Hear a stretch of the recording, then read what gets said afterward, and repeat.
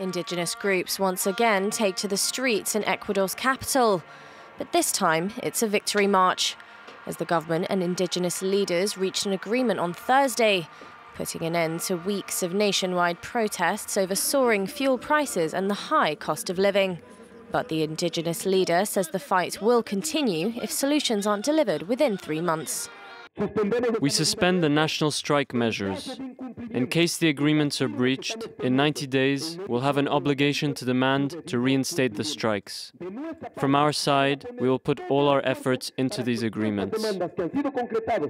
As part of the deal, the government agreed to lower petrol and diesel prices by 15 cents each and to review executive decrees on oil exploitation and mining in indigenous lands and water sources. The agreement also lifts a state of emergency in four of the country's 24 provinces and allows for further negotiations between both sides.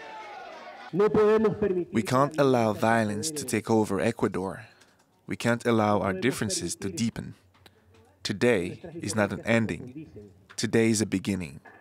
Today is the first day of this grand dream of national reconciliation, as said by the indigenous leader. It's estimated around 14,000 people participated in the protests, which paralysed parts of the country and left at least eight people dead.